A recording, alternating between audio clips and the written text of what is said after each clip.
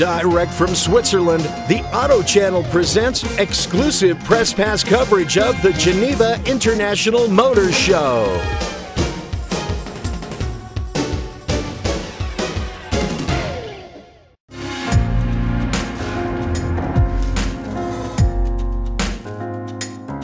Good morning, everyone, and welcome. So nice to see so many familiar faces here and some new ones too. I know that you recognize that whenever Jaguar Land Rover is in town these days, we have always something new and exciting to tell to you. Today is no exception. Let's start with JLR's recent success and future ambitions. Please welcome our Chief Executive Officer, Dr. Ralph Speth.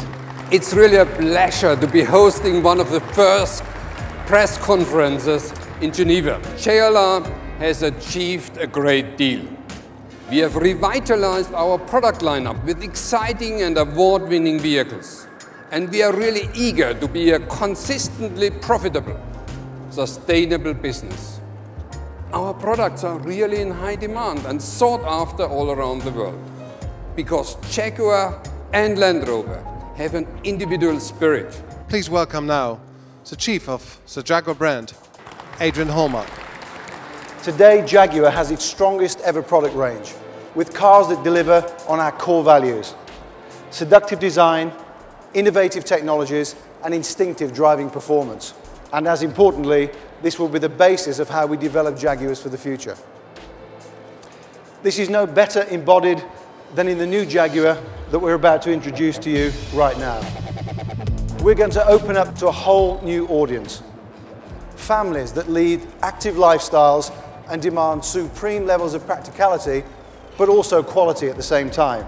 We're on a, a journey to expand the Jaguar volumes, to ex expand the global reach of Jaguar.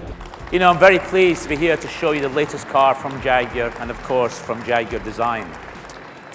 The XF Sportbrake is the most versatile car we have ever created. It enthralls and it excites.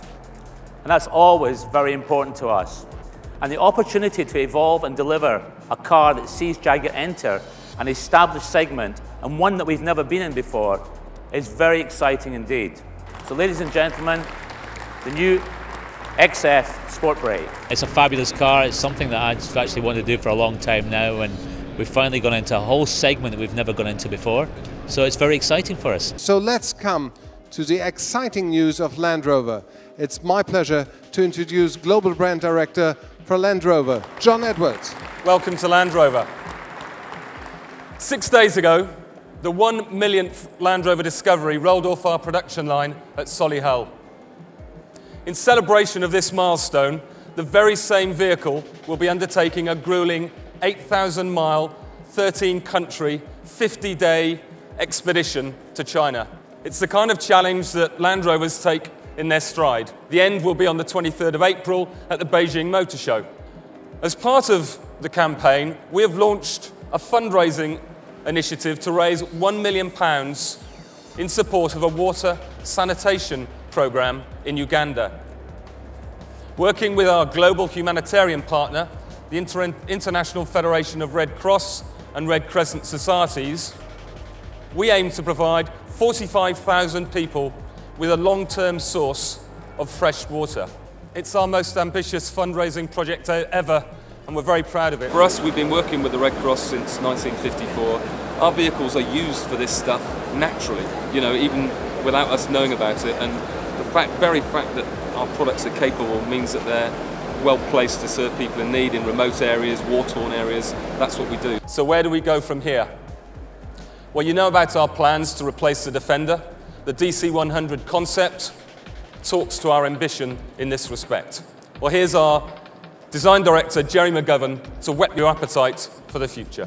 The Range Rover Evoque has been a massive success in terms of sales, in terms of business momentum, brand relevance, and international recognition. And Evoque has truly captured the imagination of consumers the world over.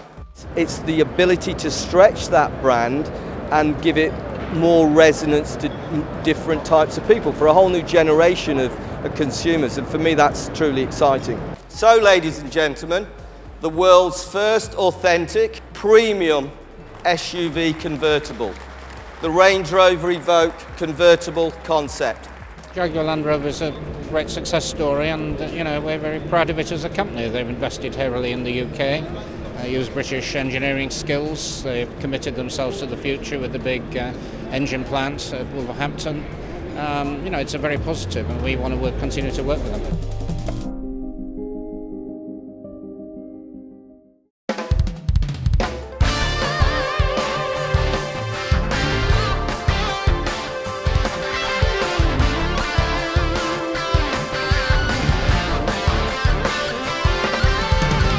Thanks for watching the Auto Channel. For more great coverage of all major motor events, visit theautochannel.com, the internet's most complete and comprehensive automotive resource.